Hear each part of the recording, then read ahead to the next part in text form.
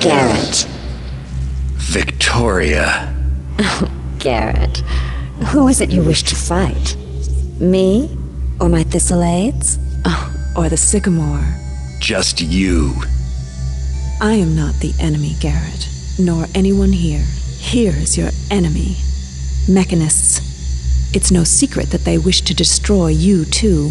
Hero that you are. Regardless, you will join us in our struggle against them. Join you? Not really my first choice.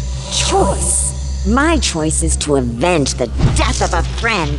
You understand nothing of suffering and duty. Pathetic man fool. In one moment I could.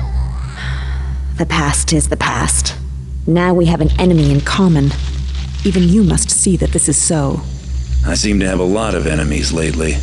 Anyway, you have matters well in hand. It is true that I am powerful, but I draw my strength from this place. Where the mechanists are, I am not so assured of victory.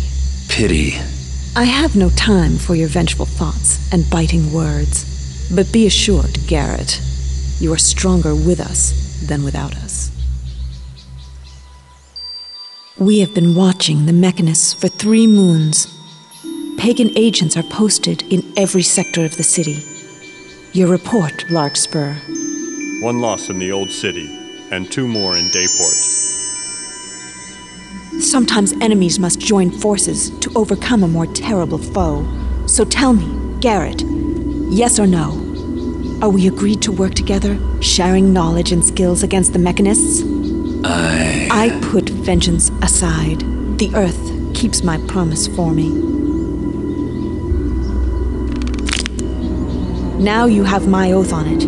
I'm cursed if I break the covenant. Now your answer.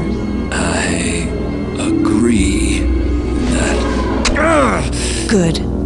The Earth keeps your promise for you.